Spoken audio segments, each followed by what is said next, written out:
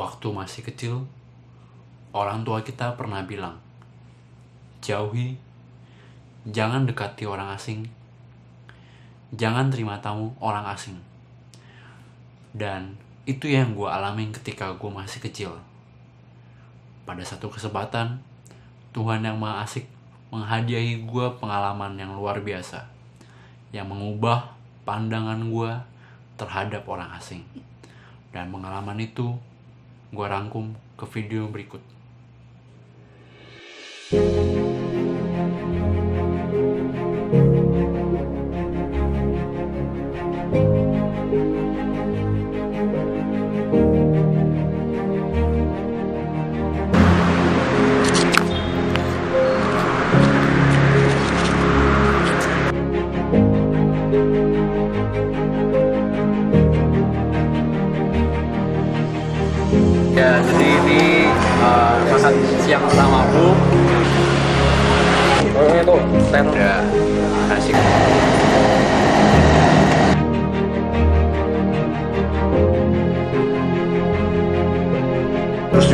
Sini ada sofa, mungkin buat tidur di sini nih. Ini matras ya. Uh, mau bermalam di sini.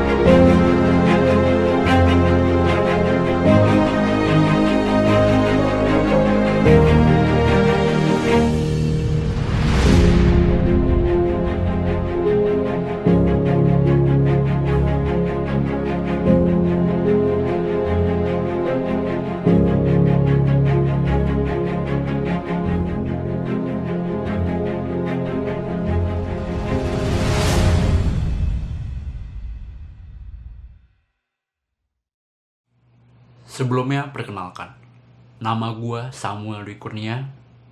Gue adalah seorang backpacker.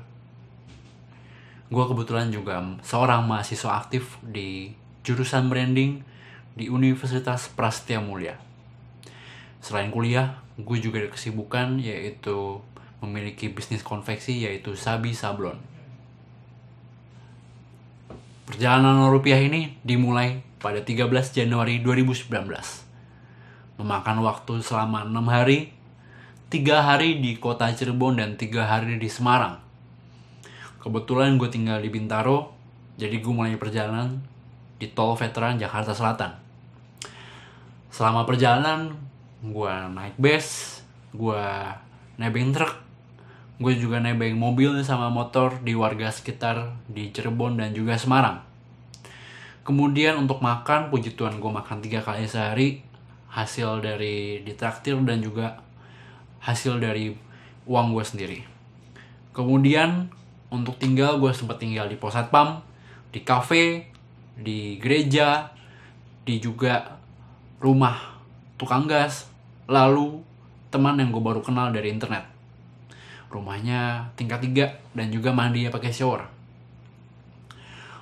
Untuk cari uang gue cari uang dengan cara bawa tali plusik gue bikin gelang selama perjalanan dan gelang ini gue jual harganya sukarela. Selama enam hari perjalanan total pendapatan yang gue dapat dari jual gelang ini sebanyak 675 ribu. Kalau ditanya inspirasi datang dari mana? Waktu SMA gue tergabung di OSIS dan di sana ada latihan dasar kepemimpinan gue ikut dan ada tantangan yaitu pergi dari satu tempat ke tempat lain yang berjarak lebih dari 10 km dan hanya dibekali uang 5000 rupiah dan juga nasi bungkus. Waktu itu gue nggak tahu harus gimana. Cuman ada kakak kelas yang ngajakin nebeng truk. Ya udah gue ikutin aja. Akhirnya di pinggir jalan hitchhiking dan cukup terkejut ada truk yang berhenti. Di situ gue dapat pengalaman nebeng pertama kali di pinggir jalan. Lalu setiap libur semester gue punya kebiasaan untuk berlibur ke kota Jogja. Karena Jogja adalah kota yang istimewa buat gue jadi setiap libur semester gue pergi ke Jogja. Kemudian kepikiran ide untuk pergi ke Jogja dengan 0 rupiah supaya punya pengalaman baru.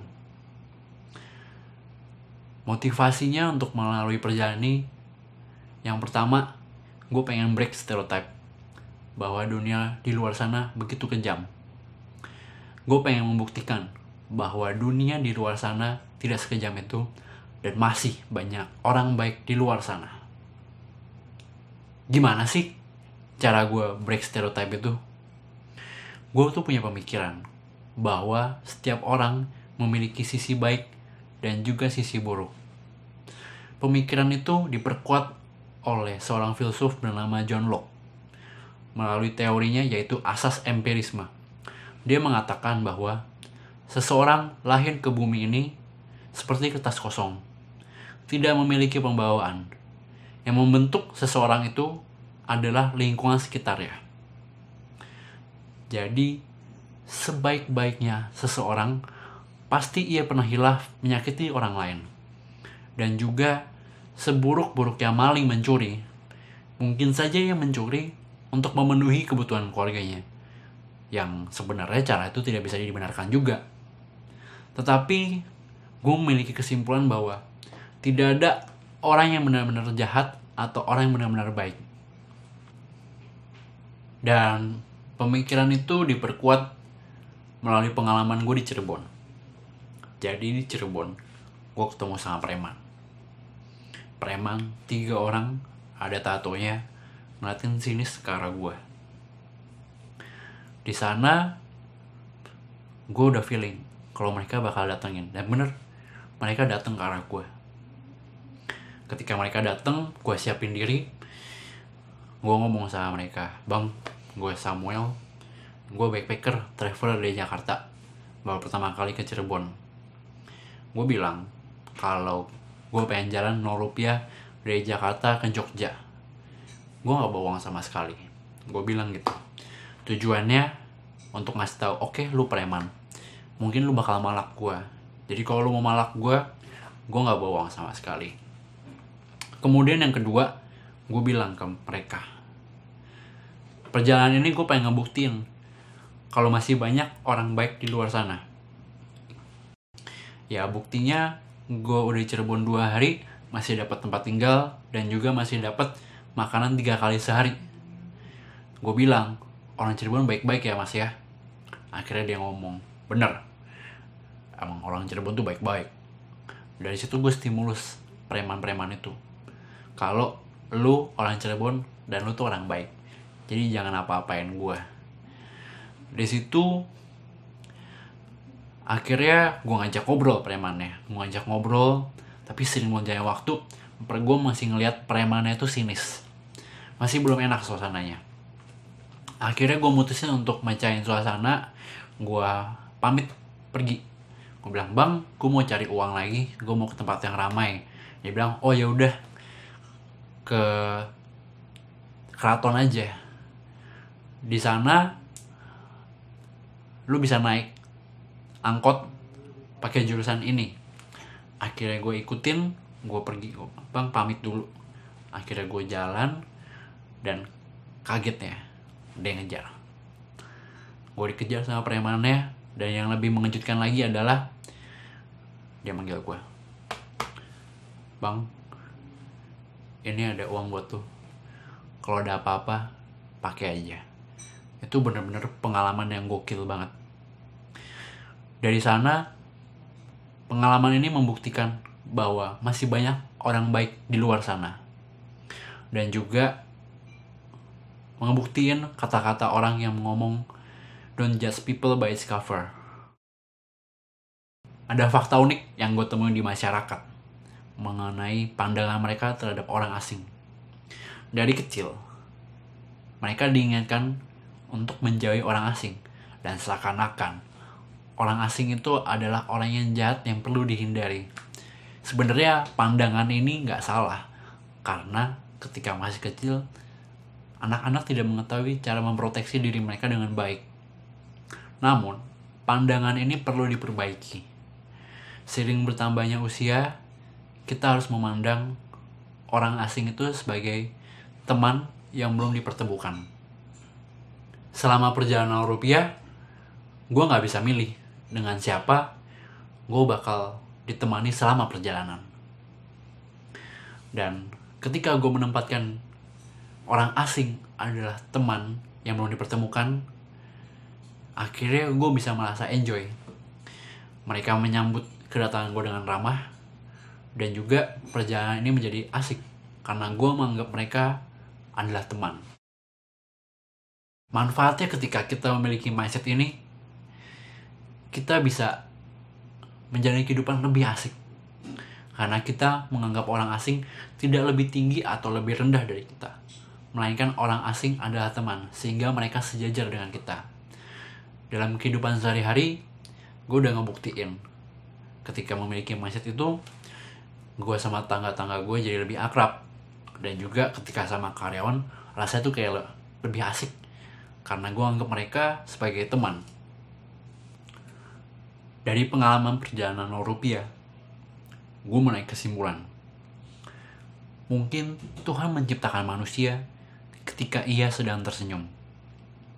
Orang asing yang seharusnya kita anggap harus dijauhi malah membuktikan bahwa masih banyak orang baik di luar sana. Ia juga membuktikan bahwa orang asing adalah teman yang belum dipertemukan. Gua Samuel Dwi Kurnia. Thank you.